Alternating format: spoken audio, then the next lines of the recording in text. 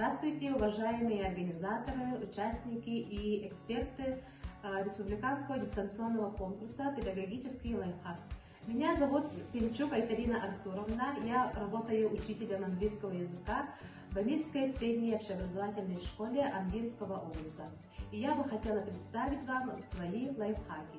В наши дни, согласно ФГОС, иностранному языку для базового уровня, для успешного общения ученик а, должен научиться участвовать в обсуждении проблемы любой, беседовать о себе, вести диалог, рассказывать о своем окружении. И для предотвращения барьера говорения на английском языке а, в своих уроках я использую следующие приемы.